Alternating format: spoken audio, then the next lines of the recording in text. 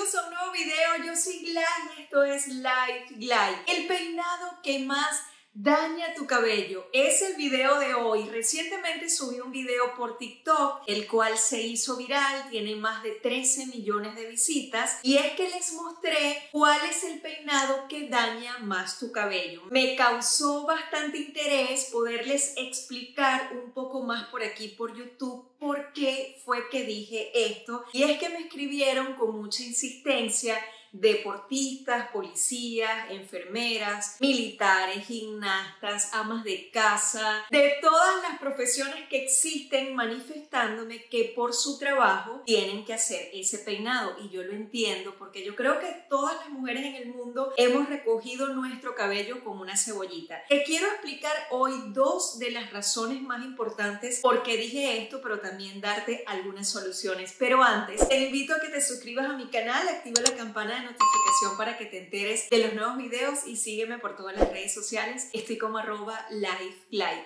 El peinado que más daña tu cabello, te cuento todo hoy en este video.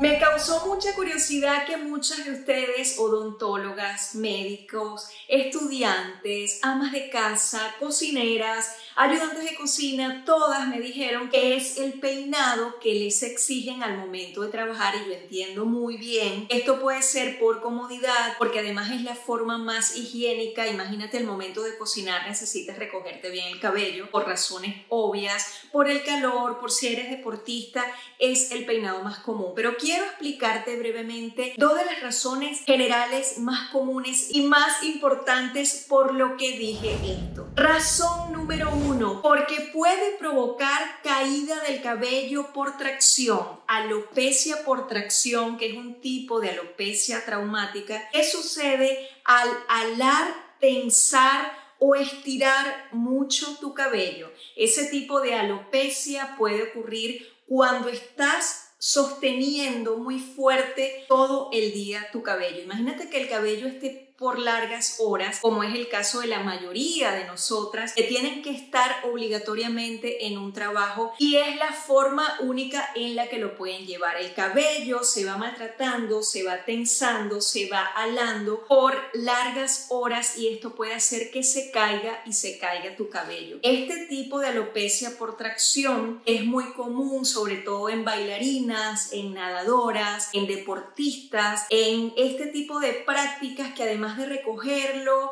aplican un montón de productos como las gominas o gelatinas que además llevan alcohol o lacas. Imagínate todos esos productos más la tensión o la atracción puede provocar este tipo de caídas que de alguna u otra forma puede ser temporal en algunos casos, dependiendo por supuesto de cada persona, pero en otros casos puede ser para siempre. Así que debemos tener mucho cuidado porque este tipo de caída de cabello existe, es una realidad y puede afectar a quienes de manera continua, constante, todos los días, por el día y por la noche, tienen el cabello recogido muy fuerte. Y la segunda razón es porque puede maltratar y romper las puntas de tu cabello. Esta parte de la fibra capilar del cabello se puede romper al tener tanta tensión y dar tantas vueltas, así como estás viendo que hice en el video, tan bruscas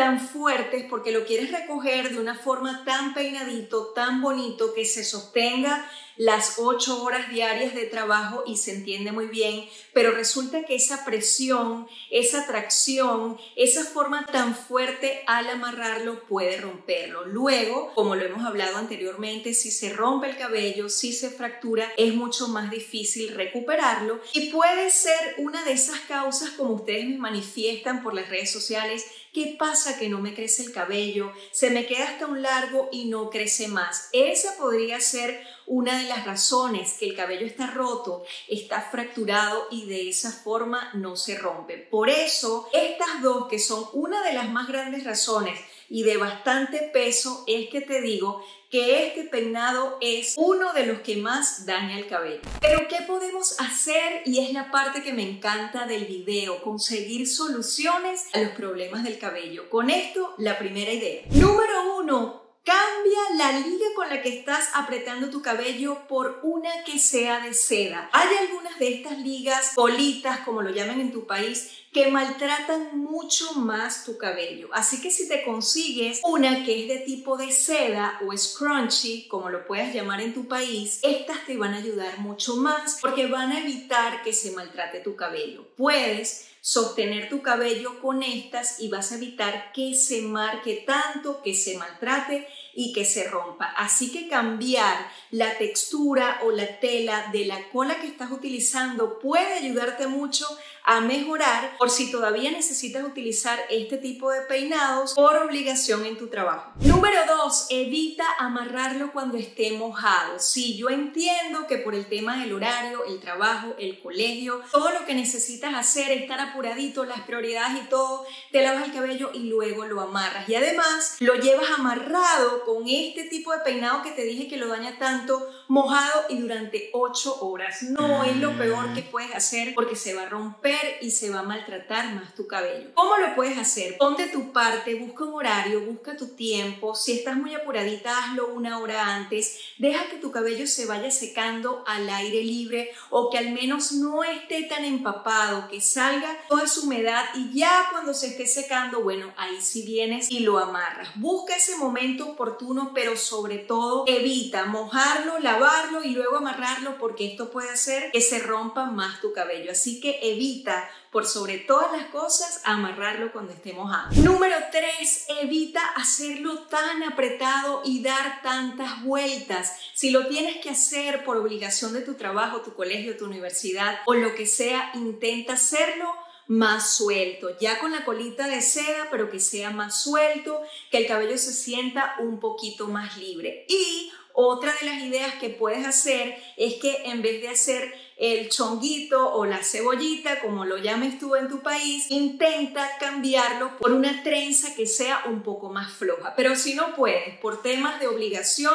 y de responsabilidades, porque lo tienes y necesitas llevarlo así, inténtalo hacer más flojo, más suelto, que de esta forma harás que tu cabello esté más sano. Número 4, suéltalo por las noches para dormir. Sí, yo sé que a muchas de ustedes les cuesta muchísimo este tema, me lo manifiestan siempre por las redes sociales, pero yo insisto, inténtenlo. Yo ya tengo años haciéndolo de esa forma. Dormir con el cabello suelto te va a ayudar mucho a que no se marque tanto, a que no se maltrate y el cabello se siente más libre. Yo que te lo digo por experiencia, inténtalo al menos un mes y vas a notar cómo tu cabello, haz ese ejercicio, cómo tu cabello era antes y cómo es después que duermes con el cabello suelto. Sé que para algunas les resulta incómodo, les da calor, no les gusta, sienten que se ahorcan con el cabello, cualquiera de las razones, pero pruébalo. Si no, si te cuesta mucho, puedes probar con un gorro de seda. Esa es una de las formas que también puedes hacer o evitar que el cabello se maltrate tanto. Y es que imagínate, si ya por obligación, por el trabajo,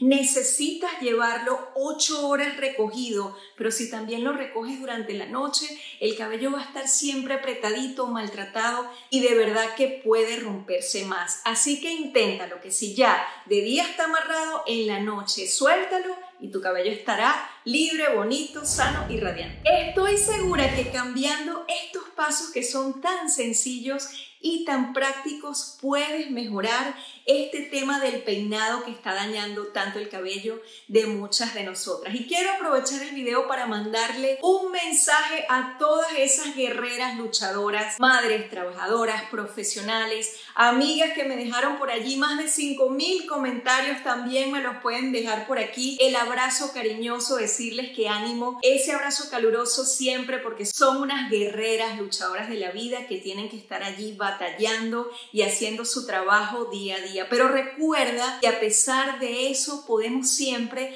tener un tiempito para regalarnos a nosotras, cinco minutos aunque sea para cuidar de nuestro cabello, para cuidar de nuestra piel y no te olvides que muy importante es hacer tu rutina siempre de hidratar tu cabello, mantenerlo bien bonito, limpiecito, hidratado y de esta forma podrás tener un cabello sano y saludable. Déjamelo aquí también en los comentarios, así como me lo dejaste por TikTok y por todas las redes sociales que estoy como arroba lifeglide. Antes de irnos del video, te invito a que te suscribas a mi canal, activa la campana de notificación para que te enteres de los nuevos videos. Si te gustó, regálame un like y ayúdame a compartir el video para que llegue esta información importante a muchas más personas. Gracias a ustedes, mujeres, por estar conectadas conmigo hoy. Les dejo muchos cariños, muchos abrazos y besos. Hasta el próximo video.